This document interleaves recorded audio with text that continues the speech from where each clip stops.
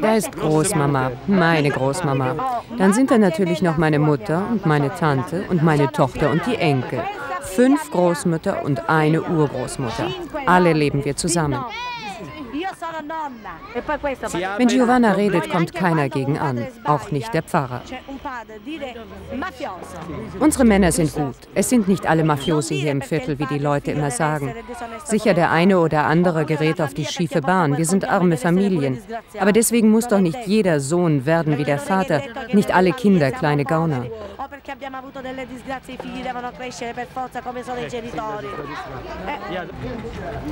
Wir haben Glück, weil wir Padre Scordato haben. Schon weil er sich um die Kinder kümmert. Er weiß auch, dass wir das nicht nur sagen, weil er jetzt dabei ist. Der Padre, das ist kein Mann, den man hier anbettelt um ein paar Kleider, Nudeln oder Geld. Darum geht es auch nicht. Er baut hier etwas für uns auf.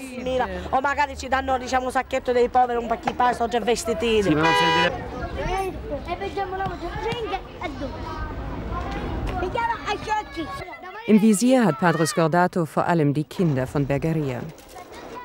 In diesem Armenhaus Palermos aufzuwachsen, heißt früh ums Überleben kämpfen zu müssen. Die Schule, eine Ausbildung, nur wenige schaffen es. Zum Beispiel die Familie, die wir eben getroffen haben. Das ist eine gute Familie, meint er. Doch da sind die vielen anderen, die nicht so zusammenhalten und denen eine Generation wie die nächste in die Kriminalität abrutscht.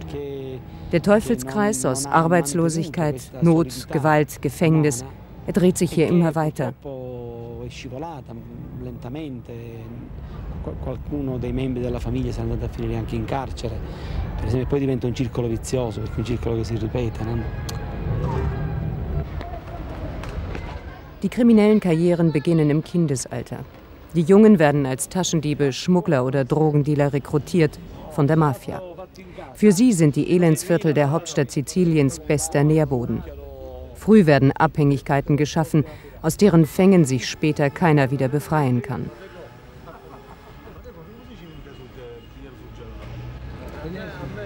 Diese Männer, was sollen sie tun, sagt Scordato.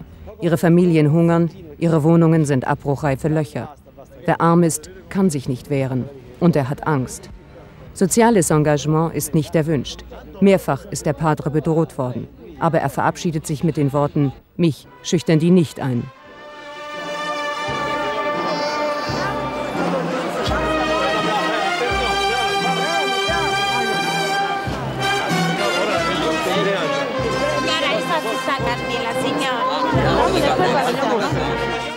Der Trauermarsch von Chopin bestimmt den Gang der Dinge in Palermo. Es ist Karfreitag. Zum Rhythmus der Blaskapelle bewegt sich die große Prozession durch die Stadt.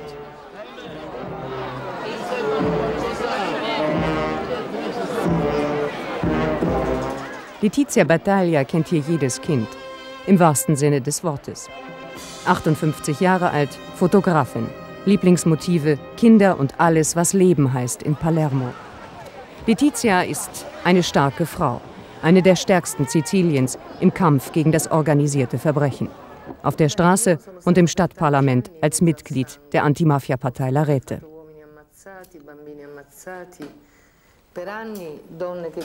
Ich habe zu viele Jahre mit Blut verbracht, erzählt sie.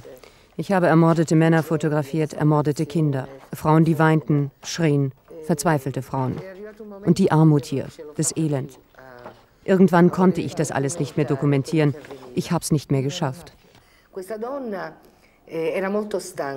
Die Frau auf diesem Bild arbeitete als Haushaltshilfe, von früh bis spät. Und eines Nachts schrie und weinte ihr Kind. Doch sie war zu müde und kaputt, um aufzustehen und sagte immer nur, Schlaf, schlaf weiter. Aber eine große Ratte hatte gerade den Finger des Kindes abgebissen.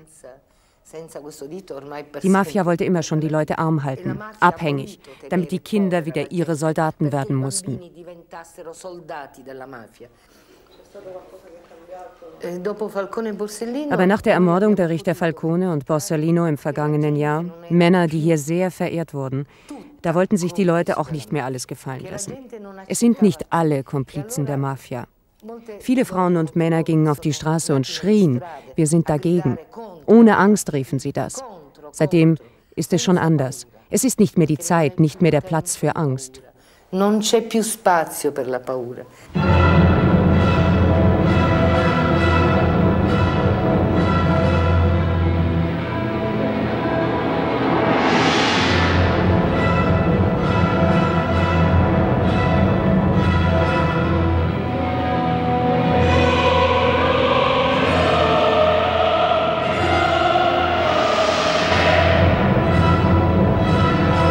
Der Tragödie wächst eine enorme Energie. Zorn und Wut auf die Mörder lösen die stille Trauer ab. Basta. Plötzlich ist ein Wort Programm und das heißt gemeinsam gegen die Mafia mit Spruchbändern und Betttüchern. Wohl kaum jemandem außerhalb Siziliens ist klar, wie viel Mut es bedarf, den Nachbarn auf diese Weise zu zeigen, wo man steht. Der Sinn der Tücher ist, aus der Anonymität herauszugehen, der privaten Wut, dem Schweigen, durch dieses Tuch spreche ich zu allen, gebe mich zu erkennen, sagt Marta Cimino. Sie hatte die Idee mit den Leinentüchern, wie überhaupt die Frauen die Speerspitze der Bewegung gegen die Mafia bilden. Die Witwen der Opfer waren die ersten, die sich zusammenschlossen und aufstanden. Dann folgten andere Komitees, alle mit demselben Ziel, eine Stadt, eine Insel wachzurütteln. Und wir haben etwas erreicht, sagen die Frauen. Die Mafia hat Angst bekommen. Nicht vor den Tüchern, aber vor einem veränderten Bewusstsein der Leute. Wer sein Betttuch aus dem Fenster hängt oder ein kleines Stückchen davon als Anstecker trägt, zeigt seine Auflehnung gegen das System.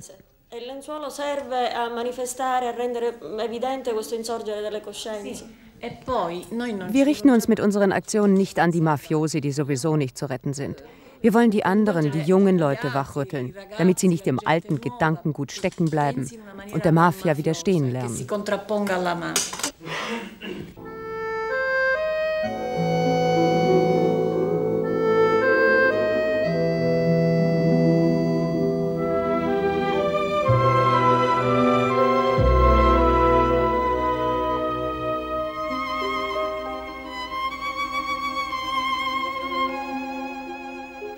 Corleone. Hinter den tristen Fassaden dieses Bergstädtchens schlägt das Herz der sizilianischen Cosa Nostra. Die Fensterläden der Häuser sind verschlossen, nicht nur der Sonne wegen. Was macht dieses verschlafene Nest so berüchtigt in aller Welt? Es sind die großen Mafia-Familien. Hier leben und herrschen sie im alten Stil.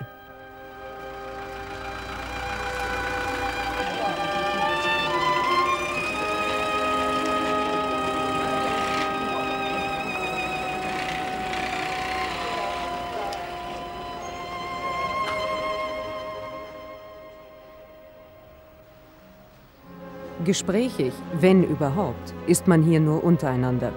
Uns gegenüber kein Wort.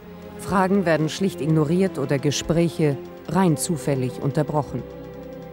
Das Misstrauen ist groß nach den vielen Verhaftungen der letzten Zeit, vor allem der von Totorina. Er war der große Boss, der Chef des Corleone-Clans.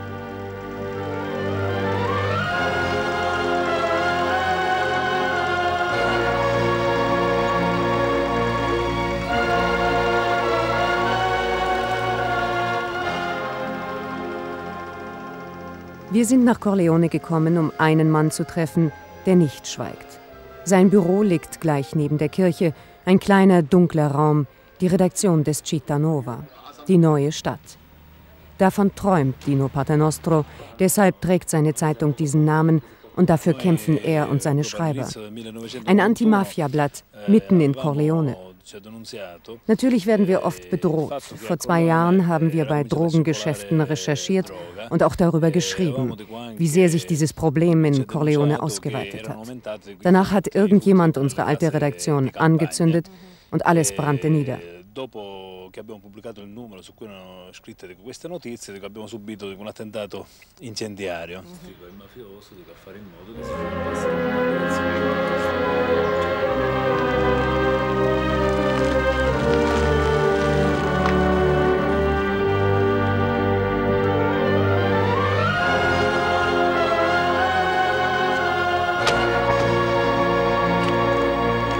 Cettina, eine der Frauen gegen die Mafia aus Palermo, ist mit uns nach Corleone gefahren. Hier draußen am Rande der Stadt wird fleißig gebaut.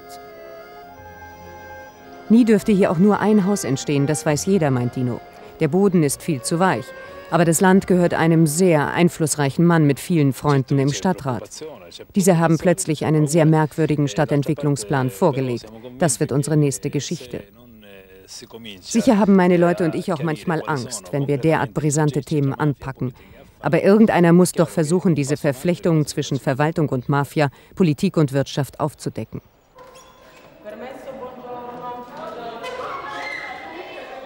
Kommen Sie mit in unsere Schule, hatte Maria am Telefon gesagt.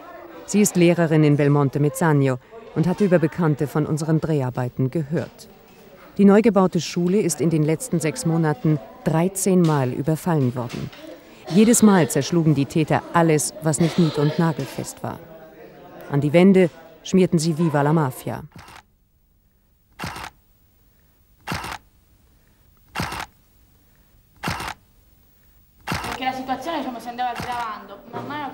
Die Situation wurde immer schwieriger, die Überfälle immer schlimmer. Einmal wurde die ganze Schule unter Wasser gesetzt, ein anderes Mal angezündet.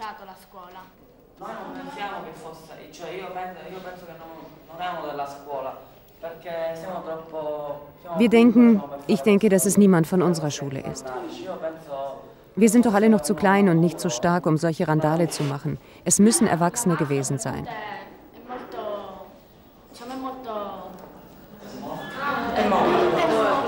Die Mafia in Belmonte ist sehr, sehr. Naja, letztes Jahr im November wurden mehrere Personen umgebracht, die mit der Mafia zu tun hatten. Und ich denke, dass das mit der Schule auch mit der Mafia zu tun hat.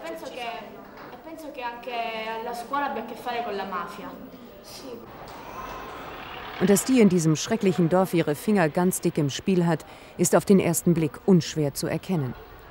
Der Ort ist eine Aneinanderreihung von Bauruinen. Der direkte Einfluss der Mafia in Sizilien ist am größten in der Bauwirtschaft und in der Vergabe öffentlicher Aufträge. Die ehrenwerten Herren haben quasi das Monopol für Zement, Beton, die Kontrolle über Arbeitsplätze und Bauland. So lassen sich wunderbar Subventionen kassieren und völlig unnötige Projekte hochziehen. Die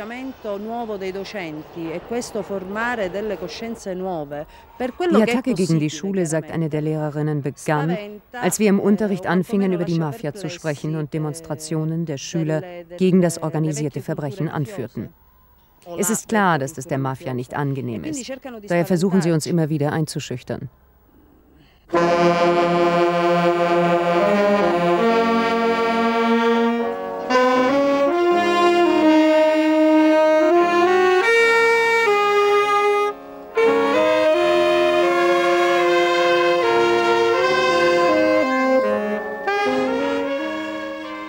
Prizzi.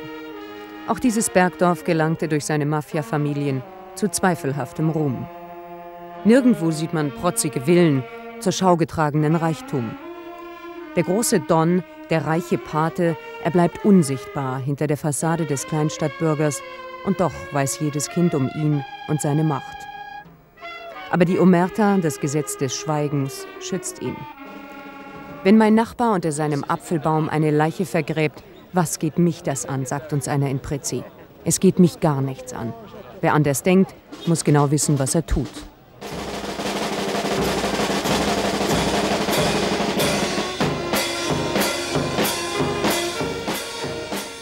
Die Engel und die Teufel kämpfen in Pritzi um die Herrschaft.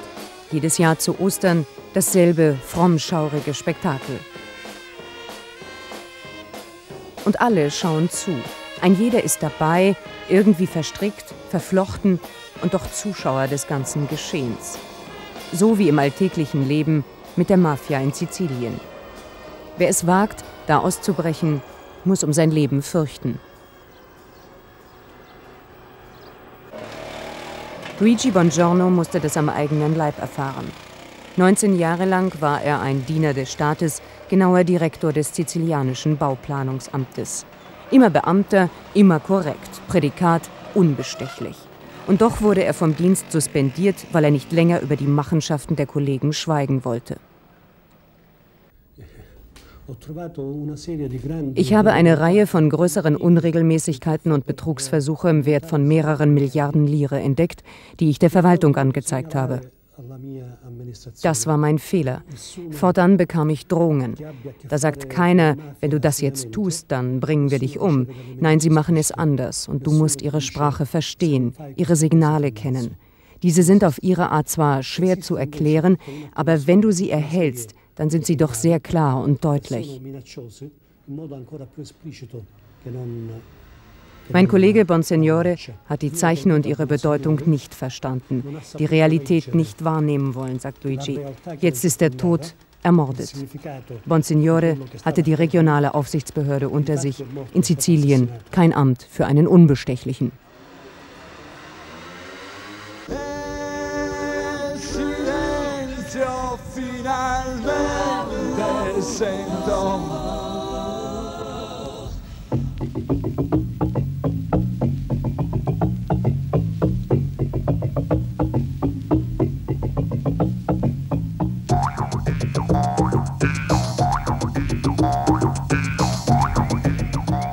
Mondello ist Mondello, ist Mondän. Der Nobelvorort vor Palermo am Sonntagnachmittag. Das Ausflugsziel. Wir sind mit diesem Herrn seit Stunden verabredet, an mehreren möglichen Orten gleichzeitig. Der endgültige Treffpunkt bleibt bis zuletzt geheim. Wer einen Spitzenplatz auf der Todesliste der Mafia einnimmt, wie Leo Luca Orlando, kann über seine Termine nicht selbst verfügen. Nach einer Stunde werden die Sicherheitsleute nervös, mahnen zum Aufbruch. Leoluca Orlando war einmal Bürgermeister dieser Stadt. Jetzt führt er die Anti-Mafia-Partei La Rete, das Netz.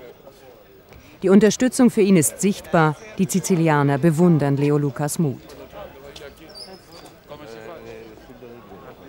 Er muss dafür einen hohen Preis zahlen. Sein Leben führt mit Blaulicht und Eskorte im gepanzerten Wagen von Ort zu Ort. Die meiste Zeit lebt er irgendwo, getrennt von seiner Familie.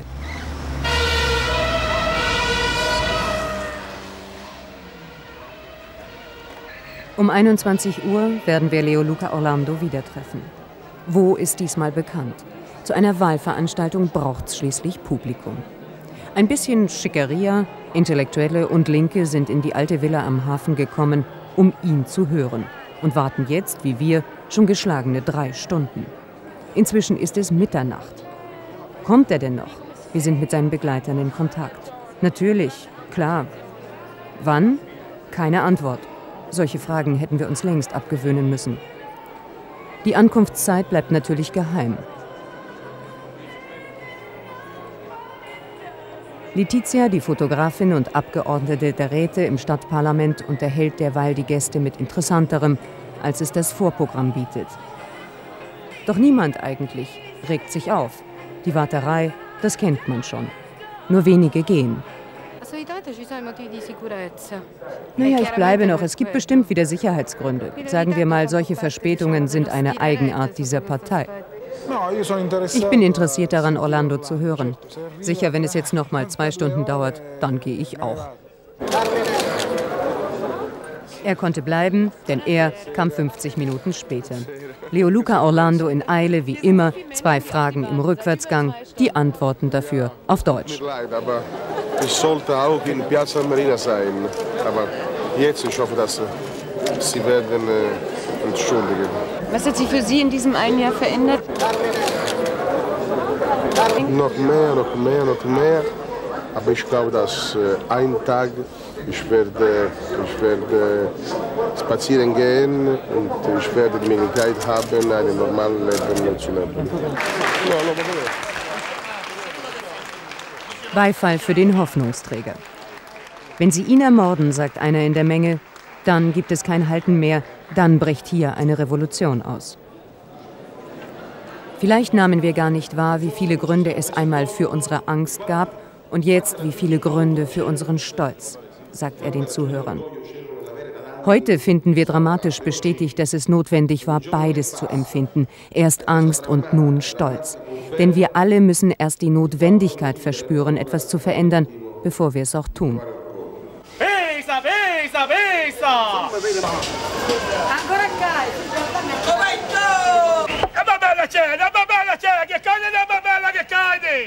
Die Lockrufe sizilianischer Marktleute klingen kraftvoll, doch aufrecht gehen ist schwer. Die Parolen gegen die Mafia verhallen dort, wo die Angst zum Lebensgefühl geworden ist. Erpressungen, Schutzgelder, jedes kleine Geschäft ist kontrolliert und niemand verkauft irgendetwas ohne Erlaubnis. Und nicht immer ist die Auslage identisch mit dem tatsächlichen Angebot. Weg hier, haut ab, ruft die Alte am Obststand. Selbst Padre Torturo geht lieber weiter. Obwohl oder gerade weil er die Menschen in seinem Viertel gut kennt und die Warnungen auch. Das Obst liegt da nur zur Tarnung, flüstert er uns zu. Tatsächlich werden an dem Stand große Mengen Drogen verkauft. Wir haben kein Geld, können uns nichts zu essen kaufen. Es gibt keine Arbeit und keine Wohnungen. Ja, es gibt keine Arbeit und kein gar nichts. Deshalb gibt es auch manchmal dreckiges Geld. Ja, aber es gibt Hunger. Ich bin ein alter Rentner. Aber diese Kinder, sowas, nein. Sie sind auf der Straße. Sollen sie weiter stehlen? Sie müssen jetzt lernen, in die Schule zu gehen. Ja, ja, sie sollen mal in die Schule gehen.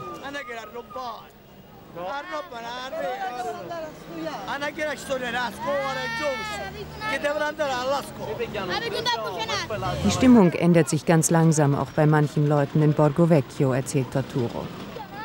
Sie fragen die Cosa Nostra, was hast du für uns getan? Und die Antwort ist Morde, Drogen und AIDS.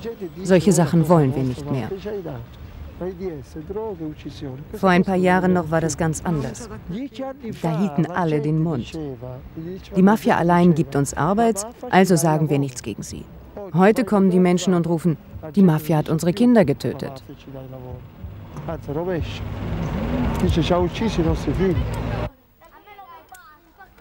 Alljährlich am 1. November, dem Giorno dei Morti, dem Tag der Toten, erhalten die Kinder traditionell Geschenke. Und traditionell sind das Waffen und nicht immer nur Spielzeugpistolen oder Gewehre. Mancher Großvater schenkt dem Enkel auch eine echte Waffe, um den Mord des Vaters zu rächen. Torturo fordert bei jeder Predigt die Kinder auf, die Geschenke mitzubringen, um sie zu verbrennen. Doch kaum habe ich es geschafft, die Kleinen dazu zu überreden, bekommen sie schon wieder eine neue. Aber ich bin sehr beharrlich, sagt er.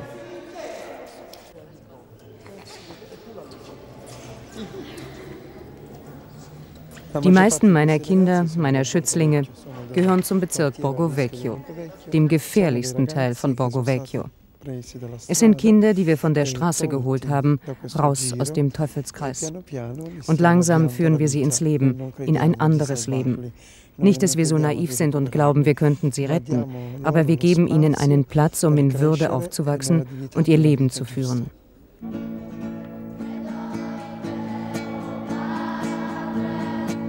Padre Torturo sieht sein unermüdliches soziales Engagement als eine Pflicht, der sich kein Mann der Kirche auf dieser Insel entziehen kann.